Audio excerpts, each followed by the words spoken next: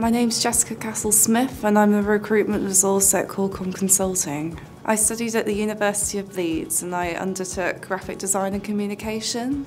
I attended the University of Leeds gradu graduation fair around April, May time and I met Jonathan first of all at stands and I really just wanted to get into a job straight away and earn and start, you know, progressing into my career really. I really enjoyed my first few months just taking it all in and um, really experiencing what recruitment is like. Most importantly, I really enjoy what I do and talk to people every day.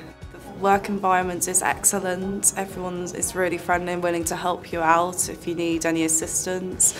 But um, it's also really fast paced, so there's never a dull moment in the office. There's always something going on, and always chatting to people from different backgrounds is, you know, what makes it really interesting. The Corecom mantra, the fun working, learning environment is also really key to my experience here. I think, you know, I fulfill all those three requirements, and that's what everyone else does in the business, which what makes it so great.